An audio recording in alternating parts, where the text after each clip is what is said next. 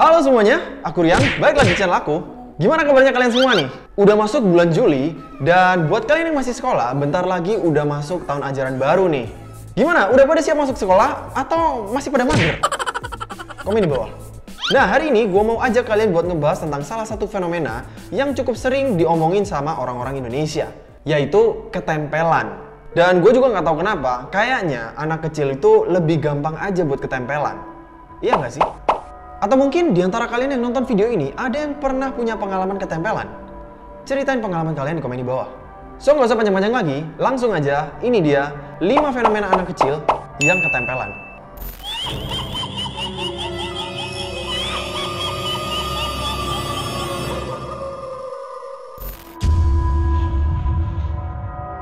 teman makan.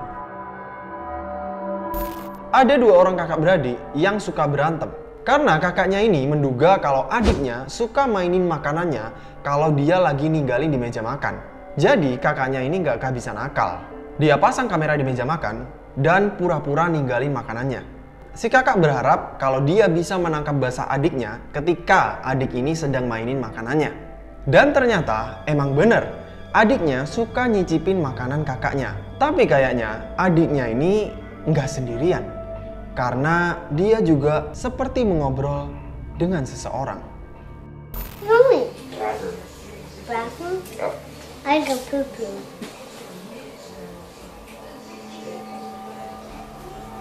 I go poo.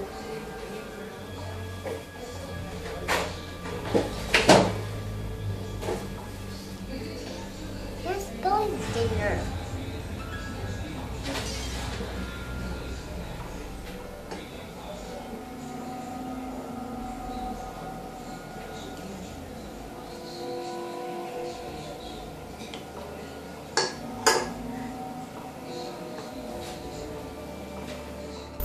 Persis di momen ketika adiknya ngomong, That's Billy's dinner, alat makan di piring kakaknya seperti bergerak sendiri. Seolah adiknya ini memperingatkan seseorang bahwa makanan itu adalah makanan kakaknya. So gimana menurut kalian? Apakah fenomena yang barusan itu cuman kebetulan? Atau adik ini memang ada sosok lain yang mengikutinya? Komen di bawah. Next. Menoleh. Video yang kedua ini berasal dari seorang bocah pengguna TikTok dengan akun The Really Weird Person. Seperti biasa ya, TikTokers biasanya bikin video ngedance, lip sync, parodi, dan lain-lain. Nah, di salah satu video yang diupload oleh anak ini, dia lagi ngomong sendiri di depan kamera sambil main boneka. Coba deh, kalian perhatikan video yang ini. And how was this video to you? Good? Okay, thank you. Okay. Yeah, thank you so much, Kiliana. You are a good sport. So, Kiliana, what?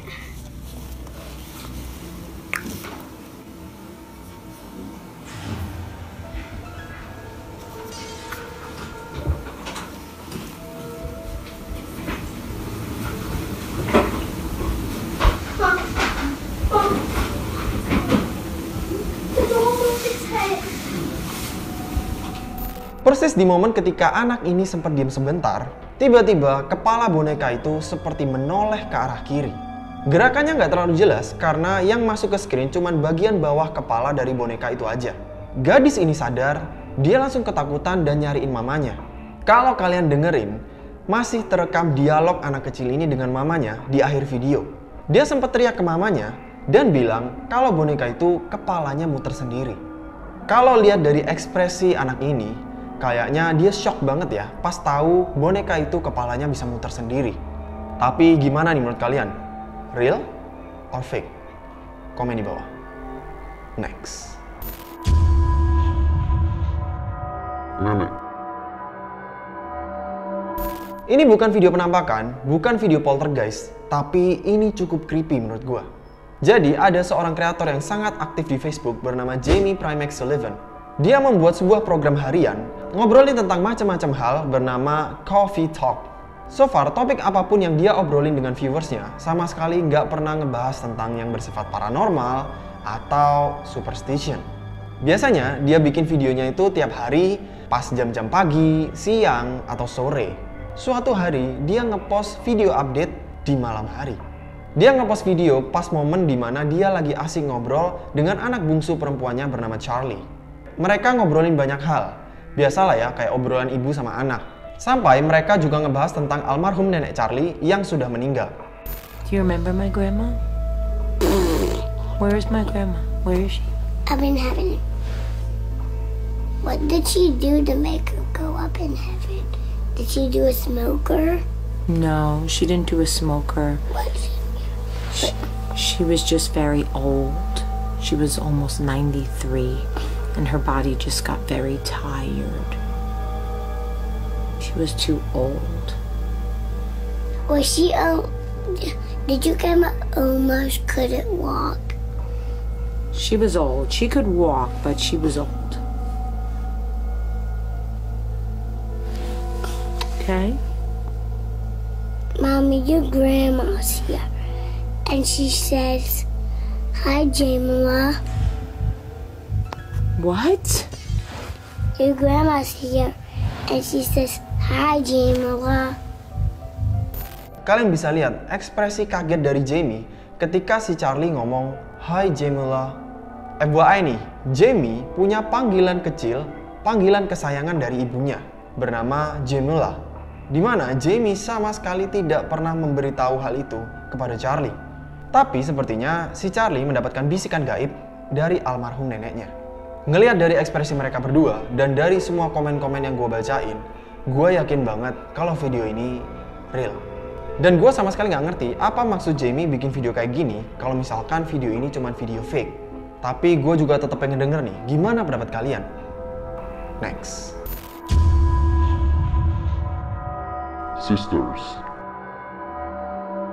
Ada seorang ibu yang sedang ngevideoin dua anak perempuannya. Mereka lagi asik makan di meja makan sepulang sekolah. Tiba-tiba kakaknya merasa ketakutan karena dia melihat sesuatu di ruangan sebelah.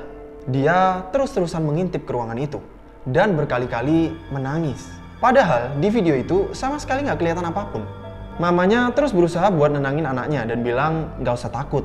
Beberapa kali adiknya yang duduk persis di depan kakaknya sama sekali nggak merasakan apa pun. Adiknya juga berkali-kali noleh ke belakang, tapi kayaknya dia nggak ngeliat apa-apa. Bahkan si adiknya ini sempat ngetawain kakaknya berkali-kali karena kayak ketakutan sama hal yang gak jelas. Nggak lama setelah kakaknya pergi dari meja makan itu, adiknya ngetawain sekali lagi dan dia coba buat noleh ke belakang. Kali ini dia juga ngeliat apa yang kakaknya lihat.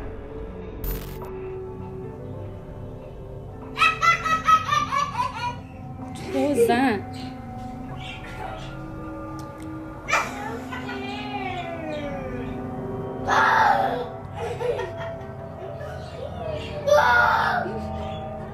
what are you doing?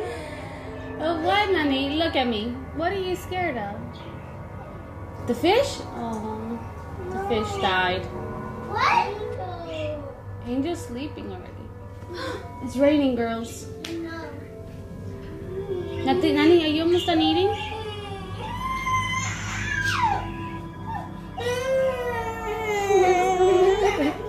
Look at me. Look at me.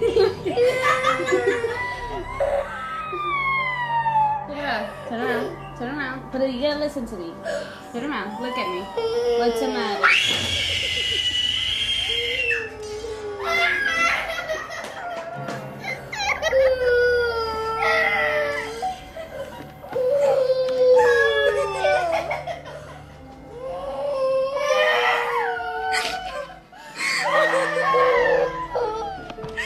Gua sama sekali nggak menemukan ada sesuatu yang aneh di video itu. Kayaknya dua anak ini sepertinya bisa ngelihat sesuatu yang sama sekali tidak terekam di kamera. Kalian bisa lihat ekspresi ketakutan adiknya itu bahkan kayak heboh banget. Tapi gimana nih menurut kalian? Apakah dua anak yang tadi itu benar-benar ngelihat sesuatu yang tidak bisa terekam kamera? Atau cuman bocah halu? Next. Menoleh lagi. Ada seorang bocah yang tiba-tiba iseng ngevideoin adik perempuannya yang sedang membaca sambil berjemur di halaman rumahnya. Gadis itu berjemur ditemani boneka kesayangannya yang baru aja dia temukan lagi setelah lama menghilang. Nggak usah gue jelasin panjang lebar, perhatikan video ini baik-baik.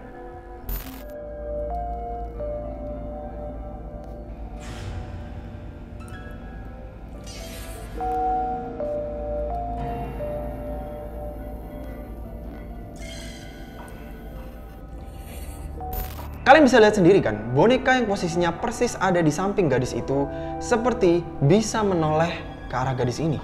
Gadis itu sepertinya sama sekali tidak sadar dengan apa yang terjadi. Bahkan mungkin bocah yang ngevideoin adiknya ini juga nggak sadar dengan pergerakan boneka ini. Makanya waktu bonekanya itu bergerak, justru kameranya dia zoom out. Video ini cukup creepy ya menurut gua. Karena seperti yang gue bilang tadi, boneka itu rawan banget buat dimasukin sama sosok-sosok yang nggak kelihatan. So, hati-hati buat kalian yang punya boneka ya. Oke guys, itu tadi 5 fenomena anak kecil yang ketempelan. So, video mana nih yang menurut kalian paling serem, paling creepy, dan paling menegangkan? Dan video mana yang menurut kalian real atau video mana yang menurut kalian kayaknya ini fake bang? Please kasih tahu gua di komen di bawah. Jangan lupa juga buat follow akun-akun yang tadi aku mention di video.